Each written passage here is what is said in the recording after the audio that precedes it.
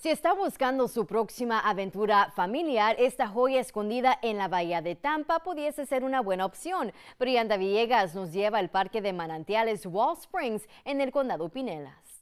Con un camino que le da una vista hermosa del agua. Es Es precioso, hace un tiempo genial, la gente es amable y es tranquilo. Y de las criaturas que hay dentro y alrededor, como tortugas, pájaros y serpientes. El Parque Wall Springs es un lugar ideal para incluir en su lista de lugares para visitar este verano. En el pasado, la gente podía meterse en el agua hasta alrededor de los años 60 y era conocido como los manantiales de la salud. Aparentemente, ayudaba con problemas de la presión, problemas del corazón y la inflamación. Al parecer, era una zona popular en el día. Aunque ya no puede nadar en el agua, hay caminos naturales para explorar, árboles para trepar, un parque infantil e incluso un jardín de mariposas.